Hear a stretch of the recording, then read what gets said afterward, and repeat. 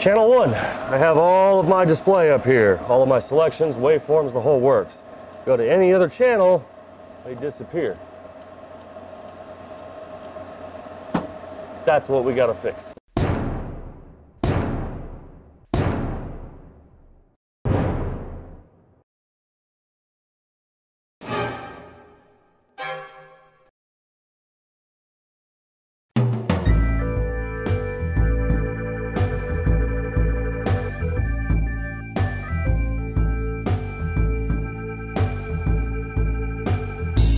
So it's been about a year since I started working with Everlast products and, uh, and starting to use them more and grabbing up a lot more machines and stuff like that. And uh, people have been asking me what I really feel or what my opinion is about the whole replace the board yourself or replace the broken part yourself if they just send it to you. Well, I can understand how that's kind of intimidating, and I can understand how that's uh, that's difficult for some people to deal with, and they don't really they don't really want to do that themselves. They'd rather just send it out. Uh, me personally, I like it. Uh, I actually the option is really cool because I mean I can send the machine out for weeks and you know have it go away and come back or whatever or they can just send me the part and 20 minutes later I got a working welder again. I kind of like that, you know, but then again I rely on these machines to get us through the classes and all the rest of the stuff so the least amount of downtime for me is way better. And it doesn't take any, you know, kind of rocket science degree or, uh, you know, any kind of specialty knowledge or whatever of welding machines to replace one of these things. I mean, all you really got to do is just take some screws apart, put this back in and, uh, you know, swap this out and stick it back together. I mean, uh, it was very easy. The same thing I did on my, uh, my 185 DV build. But uh, a lot of people are like, well, you know, where do you even start? You know, so let's let's walk you through this. I've never taken this one apart. This is my 210 EXT, PowerTig 210 EXT.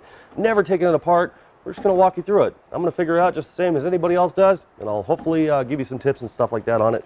Really very simple. But sometimes the most difficult thing is figuring out where all of the screws are and which order they need to come out in order to actually take pieces off. But on the case of the Everlast uh, series, most of the welders, I noticed that all of the uh, main screws are on the back panel and on the sides of the actual case themselves. So first we'll take off the four screws that you can see on the back panel and then we'll flip it on its side and have a look. We have three more that need to come off of the bottom section.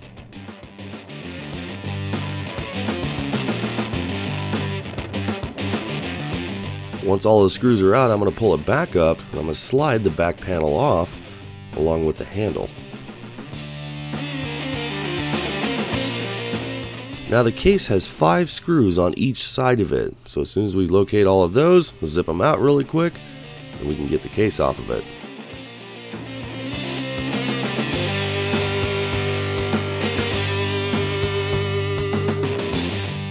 Now with all of the screws off, just a simple of sliding back of the case and pulling it off of the top of the machine. Once you have your case cover off of there, you take a look at this and you say, oh geez, that's a whole lot of friggin' wires and circuit boards and green stuff and oh, where do I even start? Well, here's the simplest thing.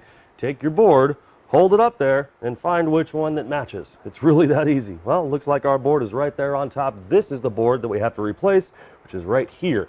Now, if it was somewhere else within the machine, you'd obviously be able to match it up pretty easy because most of this machine, you can look inside of there and say, yeah, this piece is that piece, that piece, that piece, and you can see them all pretty well. Now, if you had to take more of this stuff apart, you know, you can see where the screws are. You can find out where they all line up. The face does not need to come off of this to do this repair, but if it did, the screws on the inside, there's some screws that hold on the, uh, the face of the panel that are on there. There's a couple down here on the bottom that actually hold uh, the lugs and the DINS connectors to the actual panel itself, as well as on the bottom of the machine, just like there were on the back panel. All you got to do is find the screws. Now, here's a careful tip. If you ever see a panel or something that doesn't want to come undone and you think you have all the screws out and there's one part that's snagging on it, find that screw. It's probably in there somewhere. So we got to replace this board up top. Again, super simple to do. Here's how to get it done.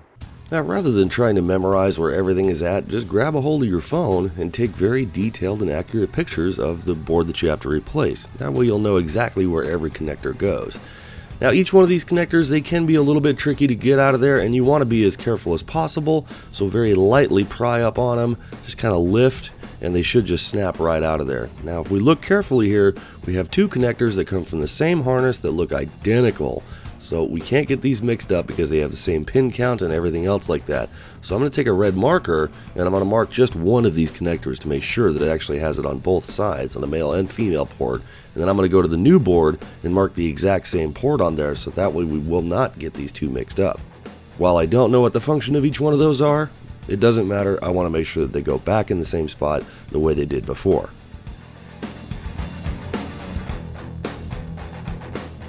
Now the ribbon cables, there's usually a tab on each side. You just press down on the tabs and it pops it right out. Now sometimes you can't always see how the board is mounted when it's actually mounted to the chassis, so it's a good idea to look at the new board and find your mounting locations. In this case we have four screw holes that we can clearly see here that will basically hold the board down to the actual chassis of the machine. So in the event that you can't find out where they all are or anything like that, or they're buried or you just couldn't see them, just look at the new board and then it'll show you exactly where uh, you're connected and what you need actually need to do. As soon as you have it loose, make sure you lift up slowly, just in case there's something else attached. In this case, you can see the earth lead. I still had it attached, I didn't see it. Even though it was on the new board, I missed it. So always lift up the board very slowly, just in case something is attached or snagged or anything else like that. Now to reassemble, it's the exact opposite of what you did for disassembly. So first I'm going to attach the earth lead. We'll get that stuck back in there where it needs to be. Then we're going to weasel the board back in. Now, this is something you need to pay attention to is to make sure that all of the connectors and the pigtails and everything like that are out from underneath the board. Thing is, they can get jammed up or whatever underneath there, and if you secure the board back down to the chassis, you realize you got to take it back apart again and all the rest of that good stuff. It's kind of annoying, so make sure that they're all out of the way, nothing's pinched, nothing's snagged, you know, just make sure it's nice, clean, neat, and even. Now, reassembly, just throw them all back in there. Now the thing is, I'm, I'm going off of memory here, and if I have a problem, I'm going to consult my phone. But I made sure that, of course, the yellow wires that we pulled off before that we had to mark out there, they're lined up right back where they need to be, and generally speaking, it was smooth sailing. But remember one thing, these sockets only go in one way, so if it's not wanting to work, it's not going, don't force it, make sure it's lined up, then press it in. Now here's an instance where I couldn't remember which one was where. I got a pair of two pins and they're right next to each other. So I don't know which one was on the left, which one was on the right. So I'm going to pull my phone out and it's going to show it right there. The red was on the left, the yellow was on the right. So if you're not sure, go back and look at your phone and check out the picture because that's what it's there for. I'm also going to go back over and make sure that I have every single one in, place and make sure that every single one is actually there. Then I realized that I was missing one, but I don't see it on the harness anywhere. So I was a little confused, but thanks to the picture I can trace it back here and I found out this one actually wrapped around the side and snagged underneath another board, which made it look kind of OEM. But as soon as I found it, pulled it right back out, make sure it gets lined up, stick it right back in the spot, and then our board swap is complete. All right. Plug that in real quick. Be very careful not to touch anything. You don't know what's going to shock you or anything like that. We'll flip this thing on here. Let's take a look. Go through its warm up. Looks like we got everything we need. Not too difficult. So again, it really doesn't take any kind of rocket science or serious experience or anything like that to do a board changeout on a machine like this. It's actually very, very simple. Now, of course, the uh, putting it all back together is exactly the opposite of which way you took it off there. So hope that's helpful and, uh, you know, this will uh, get you guys going in the right direction. If you see it a different way, then, you know, send your machine in or do whatever it is you got to do. So I find it a little bit easier. But either way, that's going to wrap it up for this one. I want to thank you guys for watching. As always, don't forget to subscribe to the Fabrication Series YouTube channel for more really awesome content.